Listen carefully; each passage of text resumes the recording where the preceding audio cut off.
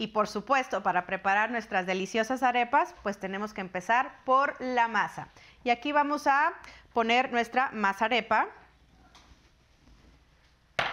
Recuerden que primero son los ingredientes secos, una cucharadita de sal, le revolvemos un poquito y le agregamos el agua. El agua tiene que ser un poco fría, ¿ok?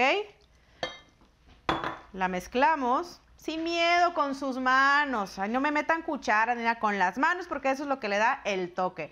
Recuerden que para cocinar y que todo le quede rico, tienen que usar el corazón, el amor. Por eso es sazón de corazón.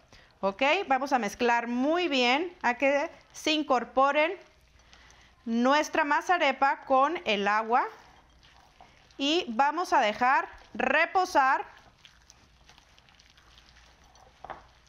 ¿Ok? Muy, muy bien mezcladita. Vamos a dejarla reposar unos minutitos, pero como tenemos magia en la televisión, ya tenemos aquí una reposada, ¿ok? Yo por mientras me lavo las manos. Ya que la dejamos reposar, ahora vamos a hacer nuestras arepas.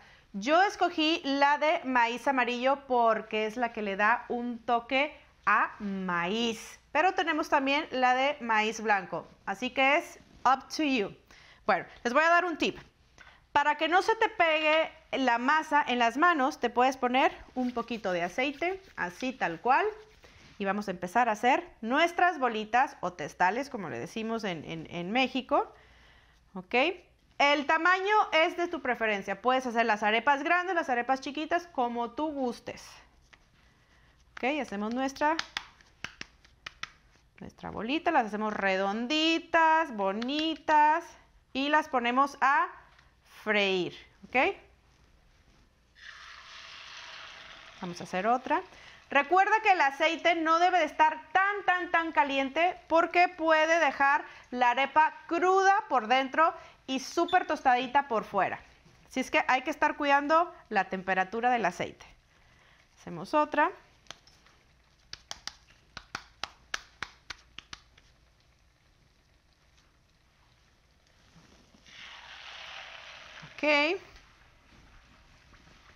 Vamos a dejarlas que se frían un poquito.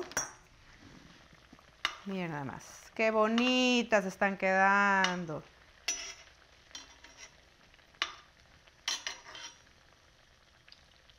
Recuerden que deben de quedar nice and golden.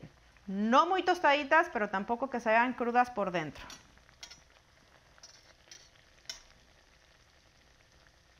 Ok. En lo que se están friendo nuestras empanadas, ¿qué les parece si empezamos a preparar nuestros rellenos? Y ahora vamos a preparar nuestro chicharrón en salsa. Es una receta súper fácil, pero a la vez muy deliciosa. Lo único que tenemos que hacer es licuar tomates,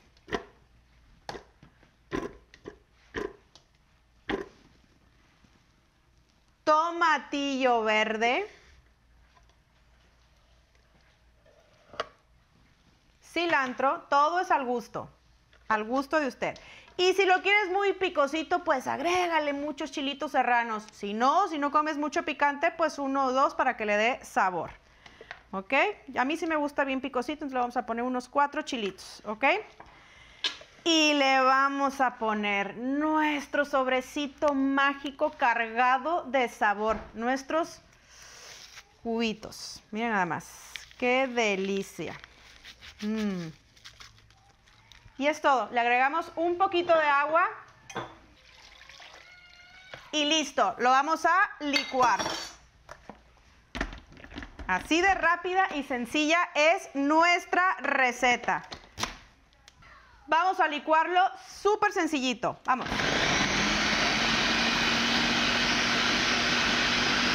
Ya que lo licuamos, vamos a vertir nuestro chicharrón directamente en la sartén. No necesitas agregar nada de aceite porque recuerda, el chicharrón ya tiene suficiente grasita. Vamos a poner. Le vertimos nuestra salsita deliciosa cargada de sabor. Uy, escuchen eso por favor. ¡Ay, qué delicia! Este chicharrón va a quedar de rechupete. Y lo vamos a tapar y lo dejamos cocinar hasta que el chicharrón esté completamente blandito. Y listo, vamos a preparar ahora nuestras rajas. Y ahora vamos a empezar a hacer nuestras rajas poblanas. Y nuestros ingredientes son cebolla, rajas poblanas, nuestro elote, nuestros sazonadores que son la estrella de este platillo, queso mozzarella o el queso de tu preferencia y crema de mesa. Entonces vamos a empezar con la cebolla. Ese sonido cuando hace... como me encanta ese sonido. Vamos a sofreír muy bien. ¿Ok? Dejamos unos minutitos friendo bien, bien hasta que quede un poquito acitronada.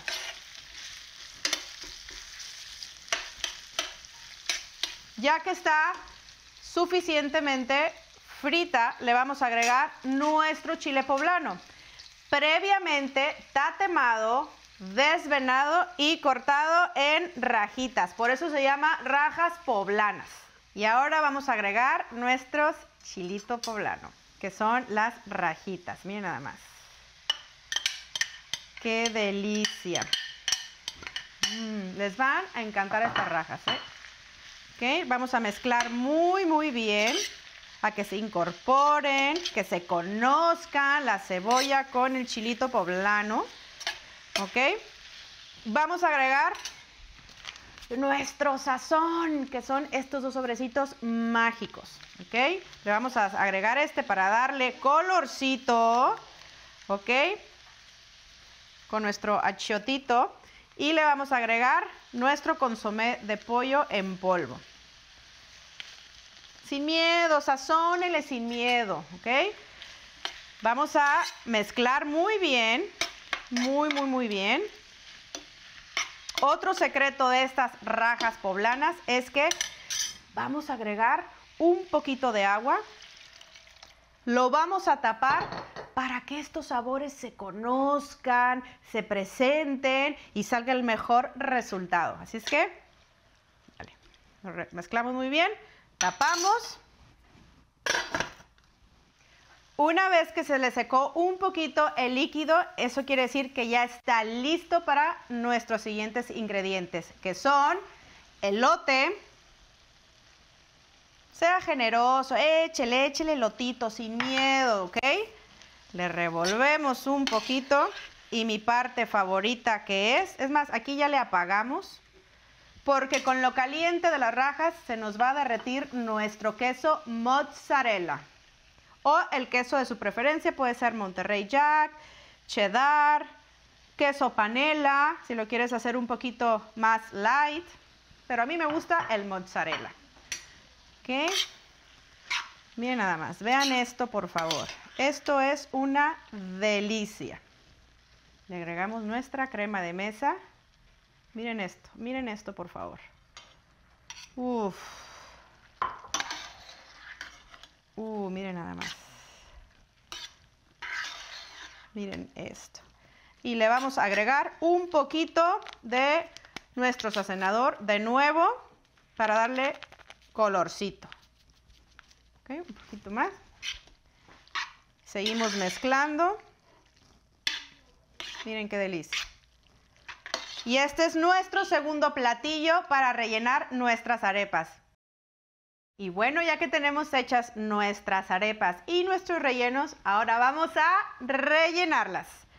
Ya les hicimos aquí la aperturita. Ahora esta la vamos a rellenar de rajitas. Miren nada más, qué delicia. Qué delicia, mis. ¿No se les hace agua en la boca? Miren nada más. Mmm. Estas arepas las puedes rellenar de lo que gustes. Aquí tenemos esta versión vegetariana, miren. Mmm, qué delicia. Vamos a rellenar una de chicharrón. Aquí está nuestro chicharrón en salsa. Miren. Ay, se me está haciendo agua en la boca. Mmm. Esto es un relleno de gorditas en nuestras arepas. Qué bonita fusión, ¿a poco no, amiguis? Miren, qué delicia. Vamos a rellenar esta de rajitas también. Recuerda cocinar en familia. Recuerden que la familia que cocina unida permanece unida. Hay que aprovechar todos los productos que tenemos y hacer unas deliciosas recetas. ¿Ok? Y bueno, ya tenemos aquí nuestras arepas rellenas de guisados mexicanos. Así es que esta fusión yo creo que te va a encantar. Así es que si quieres más recetas como estas en el mes de la herencia hispana, no olvides visitar el sitio goya.com. Porque recuerda, cocinar en familia te mantiene unido a ella. Así es que, pues bueno, sigue la bebida que vamos a preparar a continuación. Ah, y no olvides, que si es Goya tiene que ser bueno.